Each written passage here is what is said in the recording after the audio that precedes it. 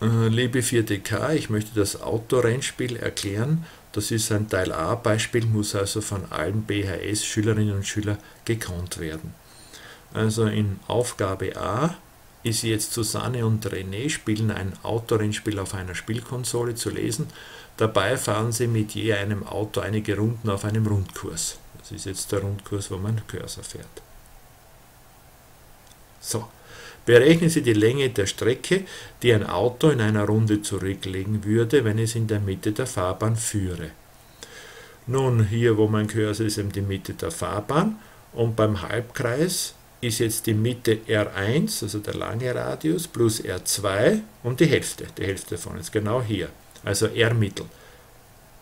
Der ganze Kreis, der Umfang vom ganzen Kreis ist 2 mal R-Mittel mal B, jetzt habe ich nur die Hälfte, also R-Mittel mal B.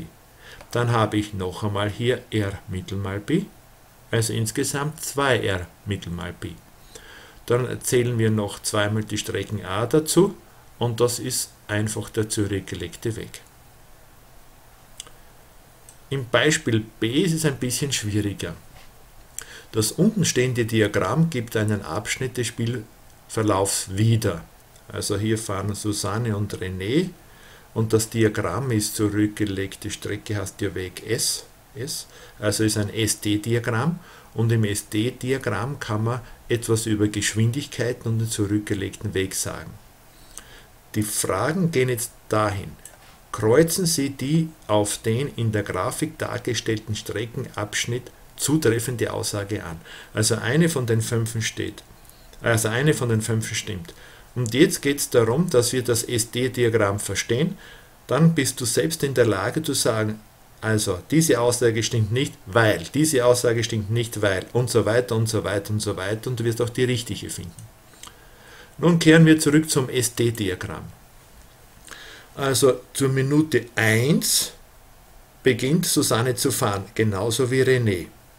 Offensichtlich ist René ein bisschen weiter, weil der zurückgelegte Weg denken wir zum Beispiel in Metern, 1 Meter, 2 Meter, 3 Meter zum Beispiel, ist ein bisschen größer zur ersten Minute, der zurückgelegte Weg von René, als der von Susanne. Im Prinzip können wir das, äh, die Strecke hier, die rote Strecke von Susanne, über die Tangenten analysieren. Die Tangente gibt uns an, äh, die Steilheit der Tangente, wie schnell die Susanne in einem gewissen äh, Zeitpunkt fährt. Nun ist hier diese Strecke fast wie eine Tangente, also diese Strecke.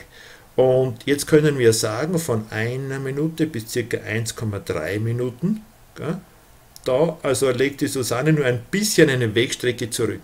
Also die Kurve ist weniger steil, die wie eine Tangente fast aussieht. Das heißt, die Geschwindigkeit ist klein. Wir rechnen die Geschwindigkeit aus, wenn ich Zahlen hätte.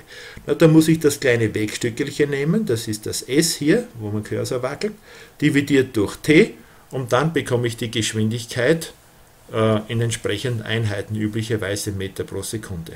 Hier wären es Längen, Längeneinheiten pro Minute. Dann beginnt was Interessantes von, von 1,3 Minuten bis ca. 1,8 Minuten. Also da ist der, der, zurückgelegte Weg, das kann ich hier ablesen, sehr groß verglichen zu hier, sehr groß. Das heißt, die Geschwindigkeit ist hoch und man sieht auch, diese Strecke könnte man fast als Tangente sehen, weil es, weil es ziemlich gerade aussieht. Also die Geschwindigkeit in dem Bereich von der Susanne ist höher als in dem Zeitbereich. Hier dann von 1,8 Sekunden bis circa 1,8 Minuten bis circa 3 Minuten äh, bildet die äh, Wegstrecke von der Susanne eine Gerade. Man könnte sagen, das ist eine lange Tangente. Und wir sehen, dass die weniger steil ist. Wie würde ich jetzt sozusagen die Geschwindigkeit ausrechnen?